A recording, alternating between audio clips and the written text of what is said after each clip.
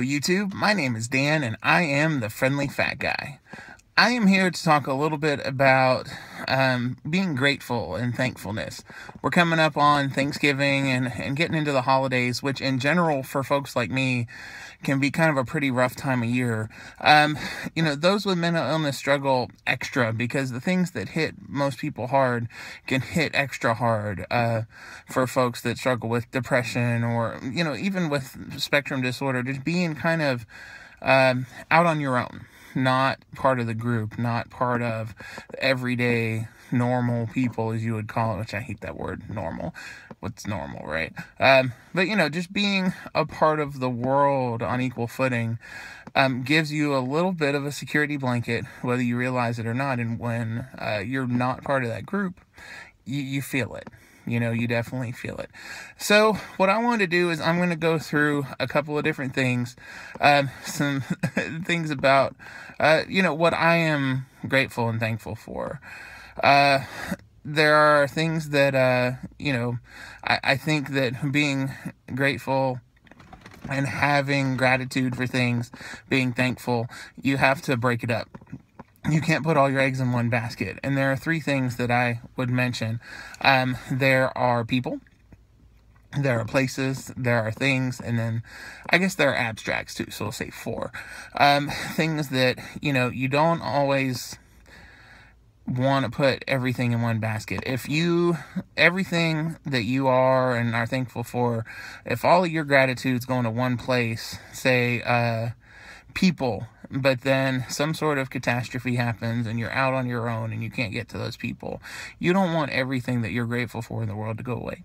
Um, now, granted, people are an important part of mine. There are some people who have stuck with me who are really important to me, um, like my friend Lindsay, for example, who has been a good friend of mine since high school. Her and I haven't talked a lot recently, but she's like a sister to me. And, you know, but, you know, when we haven't talked, I don't want to put myself in a position where, oh crap, this one person or this particular thing was all that I was grateful for. And, you know, like, yeah, she's a good friend of mine. I care a lot. Like I said, she's like a little sister. But, you know, just because I haven't talked to her in a while doesn't make it the end of the world, right? So, what I'm going to do is I'm going to go through a couple of things. Places, first off. I am very thankful for specific places. I know that sounds stupid. I am grateful for um, West Virginia, which is where a lot of my uh, dad's family is from. It is, uh, I tell you what, if you've never been there, it is some of the most beautiful country in the world. You get up there in the mountains, and it'll absolutely take your breath away. Um, there is something about laying out on the grass on a starry night in West Virginia up on a mountaintop. I swear there are more stars there than there are in other states. It's it's it's nuts. It's beautiful. Um, I'm also thankful for my mom's house actually. And, uh, you know, my mom and I moved to that house after my sister graduated high school and moved away. My dad had been passed away for many years. I mean, it's a really nice house. It's built really well. It's, it's big. We remember, uh, passing by when they were first building the houses right there with it and saying, wow, those are nice. We'll never be able to afford that. And then my mom was able to buy it. It's really cool. She still lives there now. And, uh, I'm very, you know, I'm very grateful for that. Grateful for, uh, my house that my fiance and I live in together. Uh, she got a really great price on it before we got together, so it's just her house, I guess. But you know, it's our home. Uh, but you know, so we have a really low payment, which I'm very grateful for. But it's it's a nice house, pretty yard, nice neighborhood, friendly people live next door. Um, Bob, talking about you. Uh, you know, so it's cool. It's a good place. Um, you know, even you know cities in general. Charleston, South Carolina, I'm a fan of. My sister and brother-in-law met there. It's a very special place for me, and I feel at peace and at home when I am in that city, and I can smell the uh, smell the ocean. As long as I don't smell the uh, paper mill before I smell the ocean, I'm good. um, but then you know, also things. I am grateful for my car, as I've said. It's like a little security blanket for me. I love my little car. Grateful for my phone. Um, you know, my phone allows me to interact with the world. Um, I try to not use it um, as my only interaction for the world. I like to interact also other ways, but it allows me to record videos in the car and do other fun stuff like that. Play games, play Pokemon with my fiance because she loves to run around and catch creatures on her phone. Um, you know, I'm grateful for my tuba of all things. My, uh, you know, I, am a musician and I play brass instruments, and my tuba um, we found a little hole in the wall music store in Atlanta after I had uh, moved down there. Cost like 50 bucks. It's an old uh, antique professional tuba. Absolutely love the thing. It looks like a piece of crap. Looks like somebody ran over it, and they possibly did, but it sounds great, and I'm very thankful for it. Um, you know um, also you know i will go in I, I have a list of people you know and again the reason i'm going through all of this is that it's important for us to be able to check in with this stuff um, you know it's also nice for the people and things that are important to you to be able to to hear and listen and watch the video but uh, i'm wanting to get this out there in the hopes that other people will look at it and say well if he can do that then i can do it um, so i've got a list of people just so that i don't miss anybody forgive me. Um, now, not everybody that I'm grateful for is on this list. Obviously, I'm grateful for so many people, so many people at work, so many people I've gone to school with, so many uh, family members. These are just a few, kind of a sampling, I guess. But if you're not mentioned here, it doesn't mean that I don't love you or care about you or that you're not important to me. There are lots of you that are. This is just a small sampling. Um, okay. So I apologize for looking away. I'm checking my list here. Um, okay. My first person on my list is my fiance. I'm not gonna list her by name because she uh, made it very clear when we first started this whole shindig that she'll go with me places and do stuff like that, but she doesn't want to be, you know, on the internet and that kind of thing. So I'll respect that. But uh, my fiance, I have been crazy about since I was 18 years old, and I'm 33 now. Yeah, 33. Yeah, 33. Um, you know, eh, eh, we've known each other a long time. We've been together for about three years now. Um, it is the best thing that's ever happened to me. Um, I told somebody today, as a matter of fact, I said, yes, I think she's the most beautiful woman that ever walked the planet. She is just as beautiful now, or even more so than she was the day I met her. But the real beauty of it is I can sit and talk to her for days on end with my eyes closed. And, you know, just being with the soul that is in this person makes me know that that that there's good in the world and it makes me happy. So you know even if she wasn't the hottest girl in the world which she is so booyah uh, you know she still would be perfect um, because she is her and you know i get along with her so well and we just make each other happy and smile and i've never met anybody that i could talk to like her. Always been that way and so i'm very grateful for that. Um, okay next one um, my dad's somebody I've talked about quite a bit. Um, I haven't really gone into details about my dad, but just to say quickly, he did pass away when I was a kid. But um, I'm very grateful for the fact that when he was around, despite all the issues he had, and man, did he have some issues. Man, did he have some issues. But despite the issues that he had, he always made it very clear what his priorities were and how important me and my sister were to him. And, uh, you know, if there's one thing that I always will take away from that is my dad loved me. He really did. I was special to him.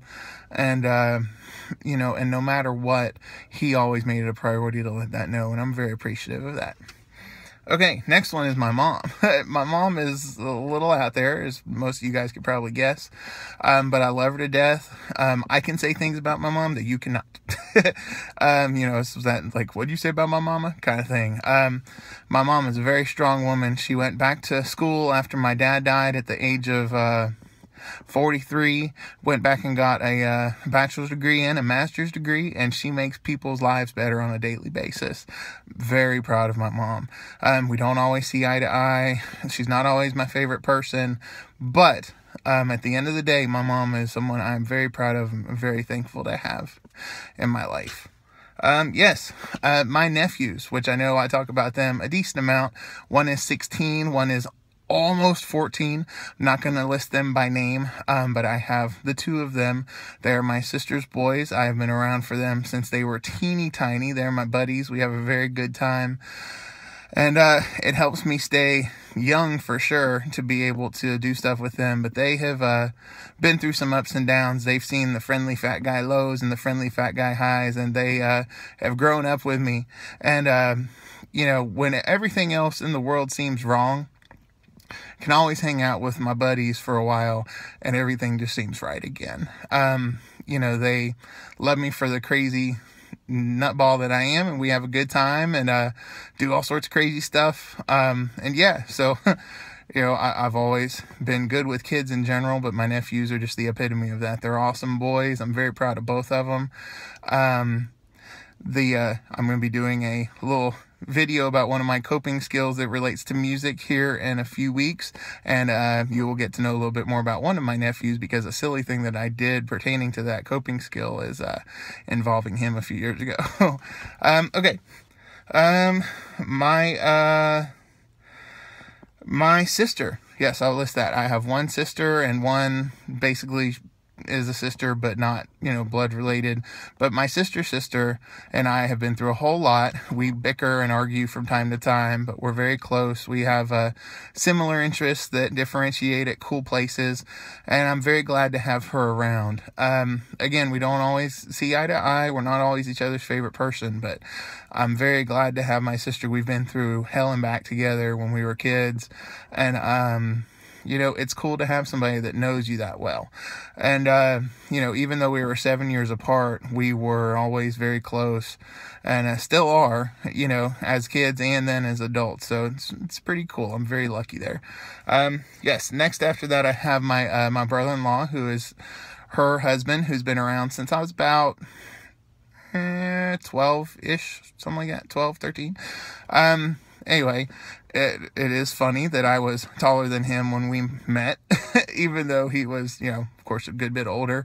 But he's been around since I was a little kid, since truthfully, you know, within four or five years after my dad died. And uh, he's been a big influence for me. And of all the people that I know in this world, he's probably the most zen and the most chill.